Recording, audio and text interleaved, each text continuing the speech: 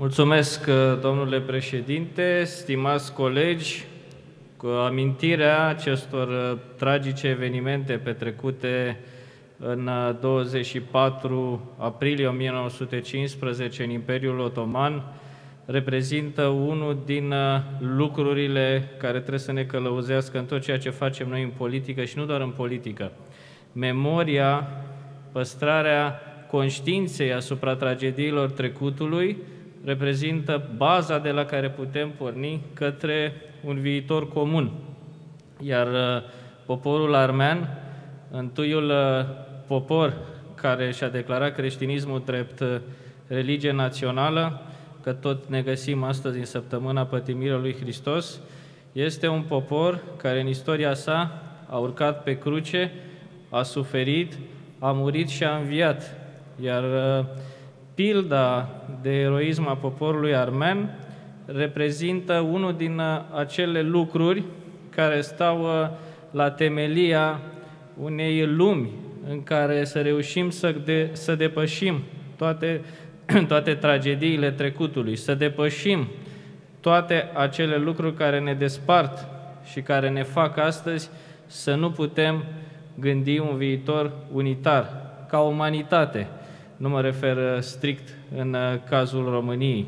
Mă bucur că domnul Pambuccean a enunțat unul din principiile fundamentale ale statului național, Minoritățile etnice sunt parte constitutivă a națiunii române, iar uh, acesta este unul din lucrurile pe care le-au garantat liberalii la 1918 și unul din principiile fundamentale României de astăzi. Fiecare comunitate etnică din România este parte a națiunii române, fără doar și poate, iar acest lucru așa va rămâne pentru totdeauna. România de acum 100 de ani a fost uh, prima țară care a acordat refugiu și a acordat asistență și susținere armenilor.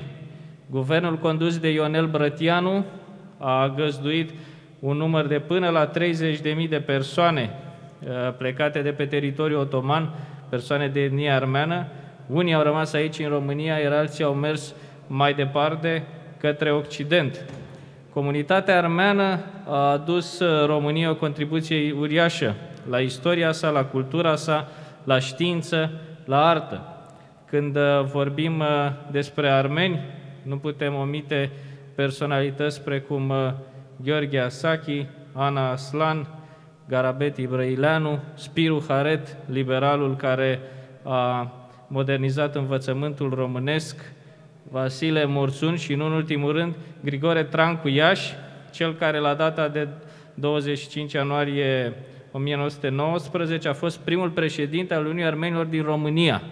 Asociația Comunității Armene, având, iată, un caracter istoric și fiind uh, unul din, uh, una dintre acele instituții ale comunităților etnice din România, minoritare, care au contribuit din plin la dezvoltarea României și la înfăptuirea Uh, României mari, la fel cu celelalte minorități etnice, așa cum sunt uh, ele, minorități naționale de pe teritoriul României recunoscute conform uh, Constituției.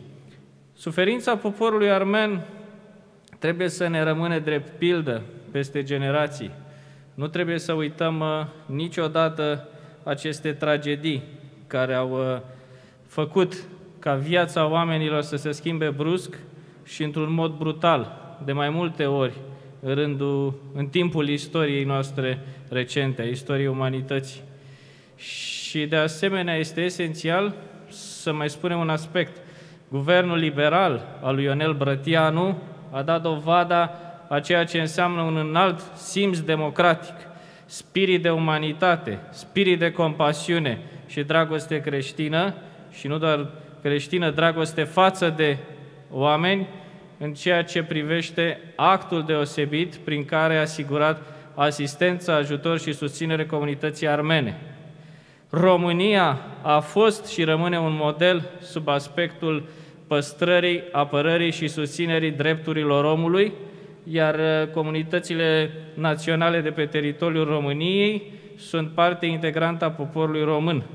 Să nu uităm că România poate fi și model, iar unul dintre aceste episoade istorice în care România a dovedit că poate fi model, a fost acel moment când uh, guvernarea liberală a lui Ionel Brătianu, sub sceptul regelui Ferdinand, a oferit ajutor fraților armeni.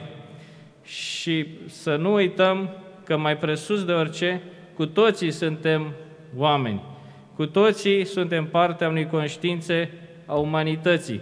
Iar uh, înțelegerea și depășirea acestor momente tulburi ale trecutului, capacitatea noastră de a sta liber și de a dialoga față în față, indiferent de originea noastră, indiferent de religia pe care o avem, indiferent de țara din care provenim, reprezintă însăși dovada unui caracter demn, dovada libertății de pline a spiritului și dovada faptului că umanitatea a evoluat și a reușit să depășească aceste tragedii cumplite ale trecutului și a reușit să se îndepărteze de toate lucrurile care au negurat conștiința umanității în ultimele secole.